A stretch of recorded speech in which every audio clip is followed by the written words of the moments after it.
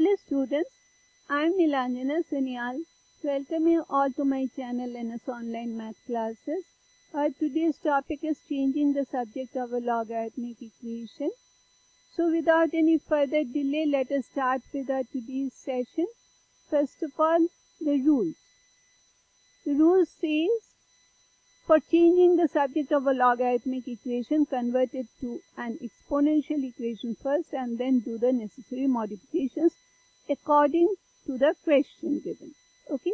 So now coming to the questions. Make x the subject of the following equations or following logarithmic equations. Question number 1. Log x to the base 3 equal to y. 3 is the base, x is the argument and y is the product or result. It is the BAP because it is a logarithmic equation rather. And we have to convert it to an exponential equation should so it will be the BPA form. The base will remain the base. The P the product changes to the power.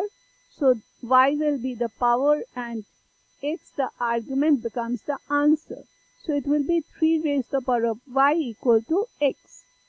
And in case you are confused, you do not know what are these BAP and B, BPA terms, I would definitely be asking you to watch my videos on the conversion of logarithmic equations to exponential forms or conversion of exponential equations to logarithmic form. And in case you know the conversion, you don't have to bother about what are BPA and B BAP rules. Okay. I have just explained the conversion using those terms. In case you have confusion in this conversion process, I would definitely be asking you to watch my videos on the conversions and I'll be giving you the links to those videos of mine in the description area or I'll, I'll be adding the cards as well. But in case you know how to convert, don't have to bother bother about these terms BAP and BPA.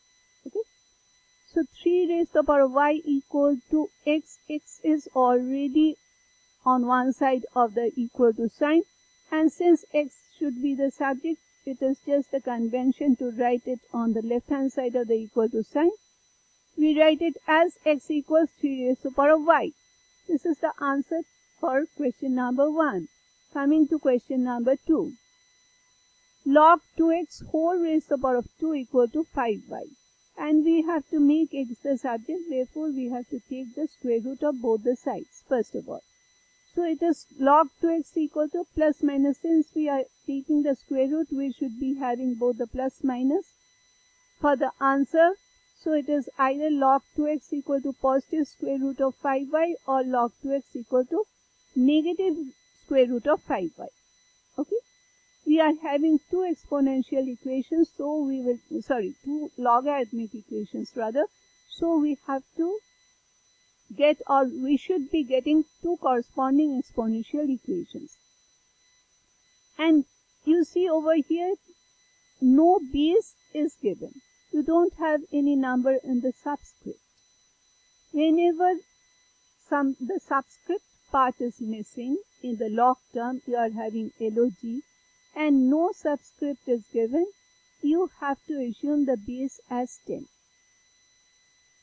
Okay, whenever you are having this term LOG. You will be having another part of logarithms that is the natural logarithms where the base will be E but for that you will not be having this term LOG, you will be having LN.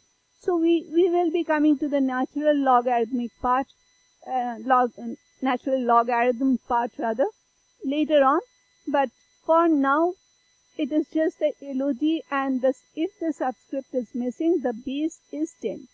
When the base is 10, we do not write the base 10 explicitly. Just like we do not write a coefficient of 1 explicitly, we do not write the base 10 explicitly. Okay. So 10 is the base, the argument is 2x and the product or the result which will become the power is either positive square root of 5y or negative square root of 5y. So we'll be having two exponential equations. One is 10 raised to the power of square root of 5y equal to 2x or 10 raised to the power of negative square root of 5y equal to 2x. And we have to make x the subject so we have to divide the entire equation by 2. So it is x equals half times 10 raised to the power of square root of 5y or x equal to half times 10 raised to the power of negative square root of 5y. If you graph this equation, you will be seeing, if, if you graph this equation and these two equations, you will be seeing that these two combined together, the graphs of these two exponential equations combined together will give us the full graph of this equation. Okay, it has to be because from this single equation we are getting two exponential equations. So these two when graphed together will be giving us the entire graph of this logarithmic equation. Okay. Now coming to question number 3. Log y to the base square root of x equal to 6.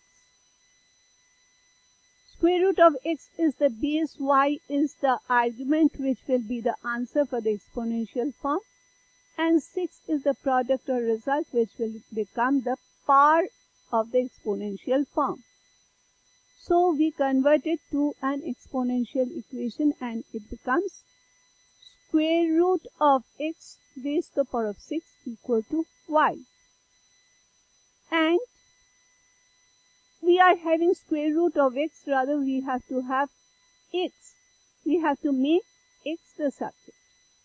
So first thing that we can do is we can write this uh, form in index form. And how can we write the surd form in index form? What will be square root of x in index form? It is x to the power of half. So it is x to the power of half whole raised to the power of 6 equal to y. And 2 is in the denominator, 6 is in the numerator using the law of indices. e to the power of m whole raised to the power of n equal to a raised to the power of m times n. Okay, so we are doing this. x to the power of half whole raised to the power of 6 is equal to x to the power of half times 6. So 2 is in the denominator and 6 is in the numerator. So we can cancel them. And we have x to the power of 3 equal to y. So we can take the cube root of both the sides to get the x as the subject of the equation and it is x is equal to cube root of y. Okay, since it is the cube root and not the square root, we should not we we do not have to take the plus minus sign. Okay?